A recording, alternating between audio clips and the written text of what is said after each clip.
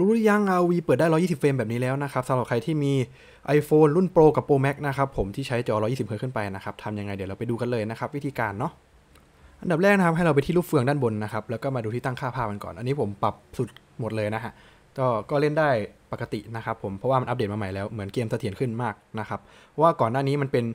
ตัว 60 frame เนาะ มันก็เลยแบบกระตุกกระตุกนะฮะ มันเลยยังไม่ถึง 60 นะครับ ทีนี้เรามาดูที่หน้า UI นะครับ ผมตั้งค่า UI แล้วก็มาเปิดตัว FPS ตัวนี้นะครับ อ่า แล้วก็โชว์ FPS เนาะ จากนั้นไปที่ตั้งค่าสนามรบนะครับ แล้วก็ปรับให้เป็นสูงมากนะครับ ใครที่ยังอยู่สูงอยู่ให้ปรับไปสูงมากเลยนะครับ มันจะขึ้นเป็น 120 นั่นเองนะครับ แต่ทั้งนี้ทั้งนั้นก็ได้ไม่ได้ไม่ได้ค้าง 120 ตลอดเวลานะ แต่มันก็มากกว่า 60 เฟรมนะครับ มันก็เล่นได้สนุกมากขึ้นนะครับ แล้วก็ไม่แหลกด้วย อันนี้นี่ผมประทับใจมากนะครับ หลังจากอัปเดตครั้งนี้นะครับผมสำหรับเกม ROV นะครับ ถ้าชอบก็อย่าลืมกด Subscribe กดไลค์ กดแชร์ด้วยนะครับผม สวัสดีครับ